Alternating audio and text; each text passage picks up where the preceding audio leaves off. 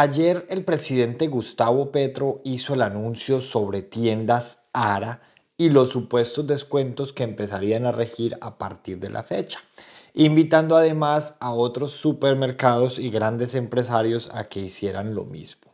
Se hizo la tarea y lo primero que queremos aclarar es que contrario a lo que dice eh, la gente que está eh, aplaudiendo como focas este anuncio, eh, no es que a nosotros no nos parezca que estas cosas sucedan, pero por supuesto que si, hay una reducción de precios, pues debe ser eh, en primera instancia positivo para los consumidores.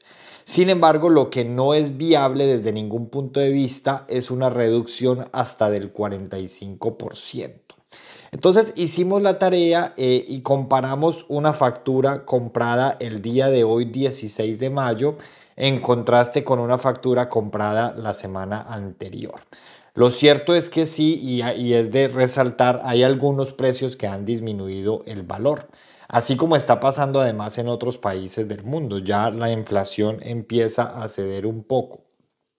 Sin embargo, lo que el presidente eh, omite es que ARA anunció este bajón o esta reducción de precios hasta el día 30 de junio. Es decir, mientras esto esté vigente, la recomendación es que ustedes aprovechen y se beneficien lo que más puedan.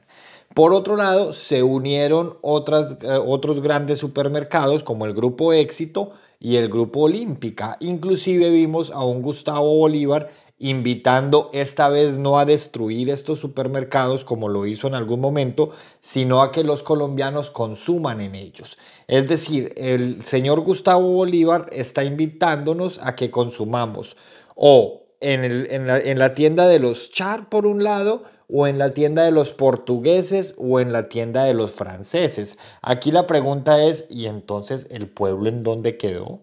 ¿En dónde quedaron los campesinos que ellos tanto defendían? Pasamos de decir que en el éxito, por ejemplo, en la, en la época del paro, se tenía unas bodegas como una, una especie de casas de pique para esconder cadáveres a decirle a los colombianos que compren ahí. Esa es la seriedad y ese es el rigor del señor Gustavo Bolívar. Entonces aquí lo que tenemos que aclarar es lo siguiente. Estas medidas son de suma gravedad y de suma irresponsabilidad para el grueso de la economía. Es una medida totalmente desleal en términos de competencia para el pequeño empresario, para los campesinos, para el mini mercado, para la tienda de barrio.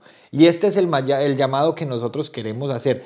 Claro que los invitamos a que se beneficien, por supuesto, de estos descuentos, pero también los invitamos a que no olviden a ese vecino que tiene tienda, a ese vecino que los ha acompañado a ustedes en las buenas y en las malas, a ese vecino que le entrega a sus hijos cuando llegan del colegio los ingredientes para el almuerzo y usted se los paga cuando llega por la noche, cuando termina de trabajar por un descuento en tiendas Sara, en Olímpica o en el Grupo Éxito, no nos podemos olvidar de los tenderos de barrio que tanto nos han servido. Lastimosamente, aquí podemos ver cómo el presidente del cambio, el que se hizo elegir con un discurso de lo nacional, de lo local, de la promoción del campesinado, pareciera que sí se olvidó de ellos, porque es que que el mismo presidente de la República salga por Twitter a invitar a que otras empresas se unan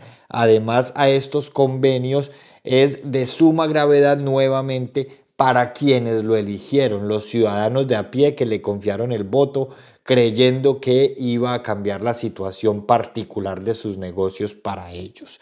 Por otro lado, también hemos, hemos ya logrado identificar algunas negociaciones y algunos convenios que se hicieron de unos contratos entre el gobierno y las tiendas ARA. Esto está por confirmar ya vendrán otros videos eh, expandiendo esta información, pero al parecer hay unos contratos para eh, proveer algunos alimentos al ICBF. Esto de manera, a manera de, presunción, una vez que todavía no tenemos la información oficial. Así que se sigue en la tarea, eso es lo que les quiero contar. Seguimos investigando de dónde nació esta iniciativa, porque no podemos, el hecho de que el presidente haya aterrizado de Portugal hace unos días y después salga este, este anuncio y además también eh, haya otros anuncios eh, relacionados entre el Estado colombiano y las tiendas Zara, no puede ser aislado y no puede ser casualidad. Triste sí, y lo que nunca esperábamos era que el presidente del pueblo, el presidente de los colombianos de a pie, terminara favoreciendo no solamente la industria eh, internacional, sino la empresa privada. Lo bueno es que por fin entiende a algunos colombianos que prefieren comprarle al de afuera. Él ya se dio cuenta que parece que esa fuera la única vía. Lamentable las medidas de este gobierno.